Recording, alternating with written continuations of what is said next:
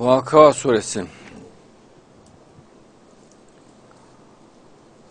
Vaka suresinde Cenab-ı Allah şeytan Allah'sının diyor ki sizleri biz yarattık yine tasdik etmeyecek misiniz? Bak yaratmaya Allah önem veriyor. Yaratılış.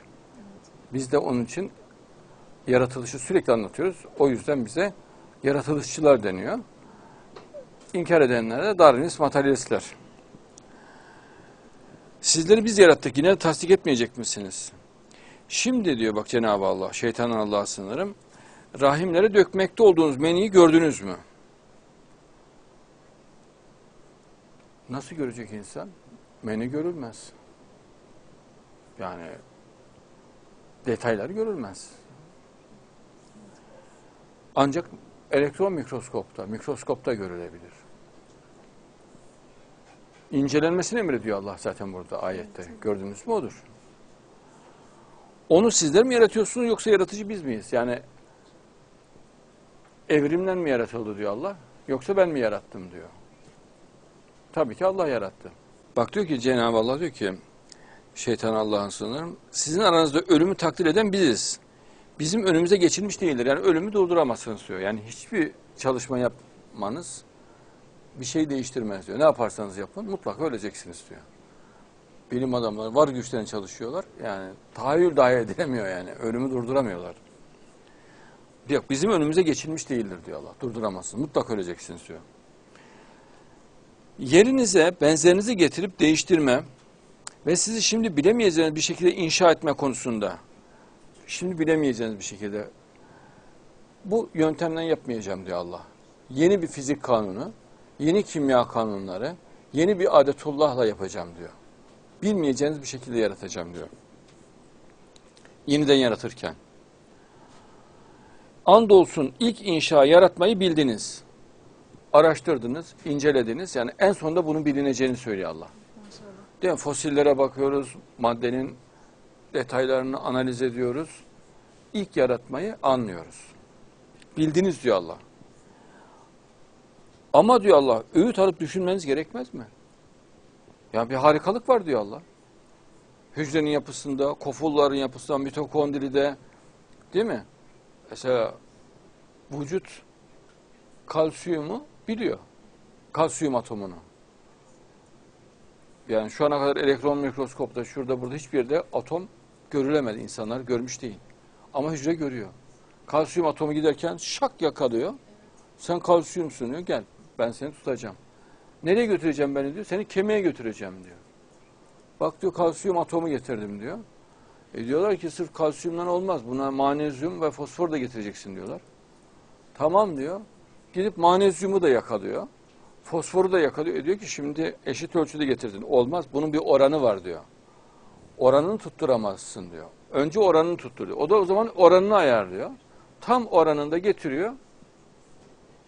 E, kemik dokusuna yapıştırıyor. E tutmuyor diyor bir şey lazım diyor. E tamam diyor o ara maddeyi de yapacağım ben diyor. Yapıştıracak olan maddeyi de yapacağım diyor. Hem öyle bir yapıştırma ki beton gibi yani kemiğin sertliği biliniyor. Yani taş gibi yapıyor. O şekilde mükemmel yapıştırıyor.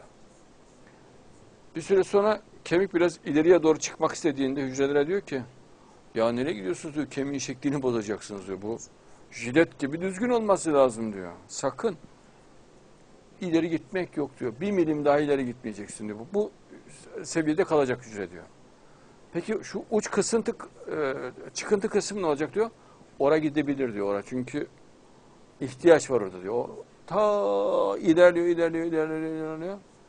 Şimdi tamam diyor. Şimdi bir iç büke şekil al sen diyor. Kemikler, kemik hücreleri hepsi sıraya dizilip bir üç büke şekil alıyorlar. Şimdi oldu diyor. Manezyumunuz da tamam, şeyiniz de tamam. Geçelim öbür kısma diyor. E şimdi bunlar hepsinin tek tek düşünülmesi gerekiyor. Düşünülsün din Allah yaratıyor. Şimdi ekmekte olduğunuz tohumu gördünüz mü? E, analiz edin, araştırın diyor Allah. Yani tohum bilim. Mesela bir bilim dalıdır tohum bilim. Tohumlar araştıran. Bu bilim dalında araştıracaksınız diyor Allah. Sperma ve hücre bir bilim dalıdır. Bunun, bu konuda da araştırma yapacaksınız diyor Allah.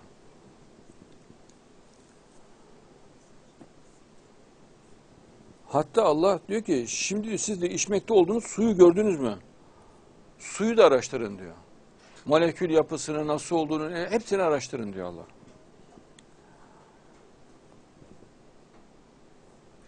Şimdi yakmakta olduğunuz ateşi gördünüz mü?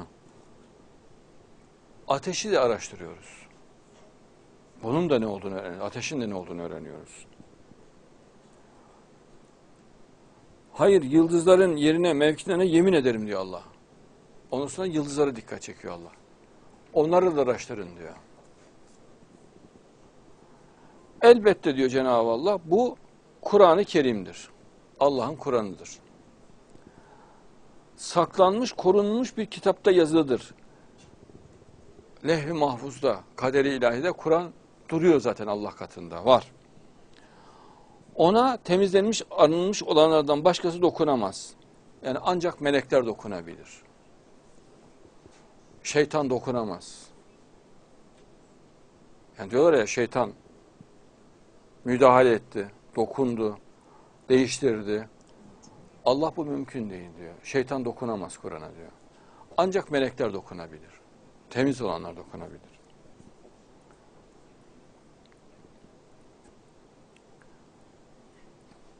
Alemlerin Rabbinden indirilmedir.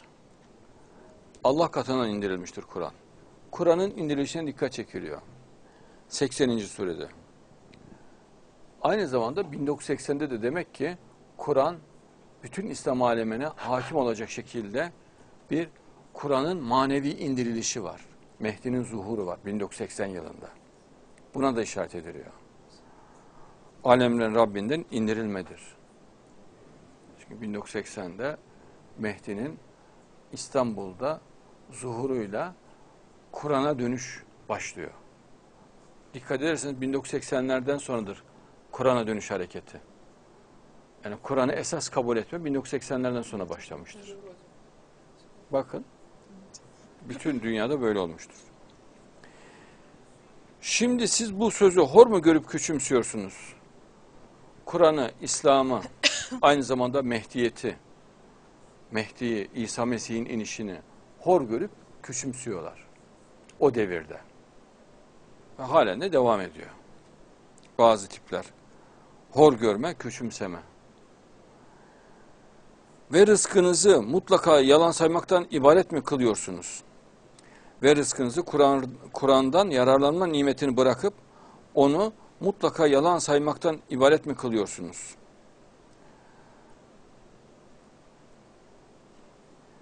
...83. ayette Cenab-ı Allah diyor ki... ...hele boğaza gelip dayandığında... Mehdi'nin de olayına işaret var. Ölüme buradaki işaret tabi. Asıl anlatılan odur. Canın boğaza gelip dayanması. Ama ikinci işaret anlamı Mehdi'nin İstanbul Boğazı'na gelmesi. İstanbul Boğazı'na da faaliyete başlaması. Hele boğaza gelip dayandığında. Çünkü boğaz kenarında olacağını söylüyor Peygamberimiz Mehdi'nin. Ki o sırada siz sadece bakıp duruyorsunuz diyor Allah. Kime?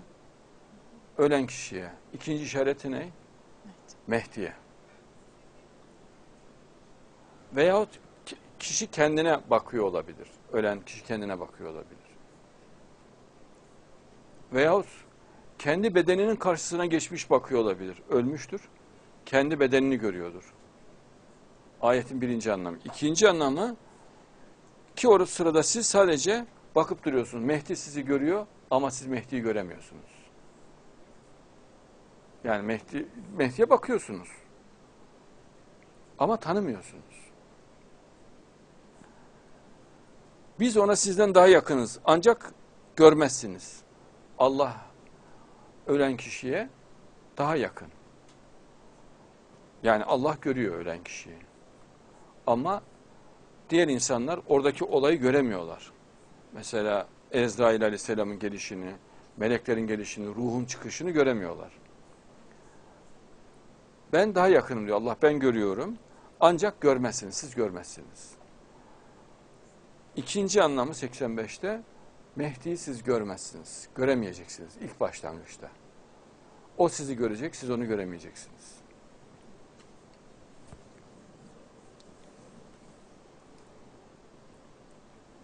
Evet.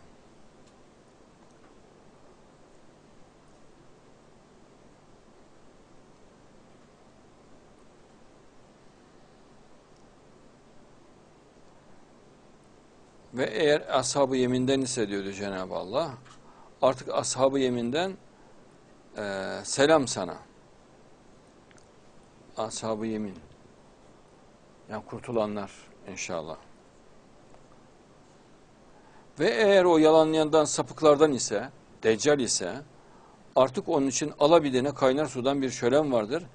Ve çılgınca yanan bir ateşe atılmada, şüphesiz bu kesin bilgi ifade eden bir gerçektir. Hakkul yakin, öyleyse büyük Rabbini ismiyle tesbih et. Allahu Ekber. İnşallah.